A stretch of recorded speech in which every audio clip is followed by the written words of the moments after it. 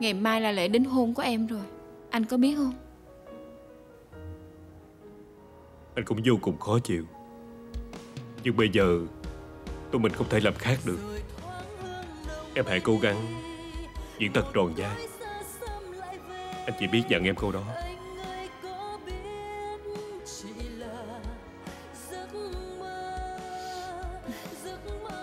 Em sẽ làm theo lời anh dặn Chỉ có điều em không hiểu. Tại sao lại là tụi mình phải rơi vào hoàn cảnh như vậy?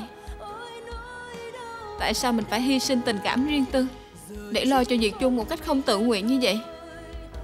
Như vậy để làm gì? Em cũng biết Thế giới cũng đã từng có nhiều cặp uyên ương Phải hy sinh. Họ là họ Em là em.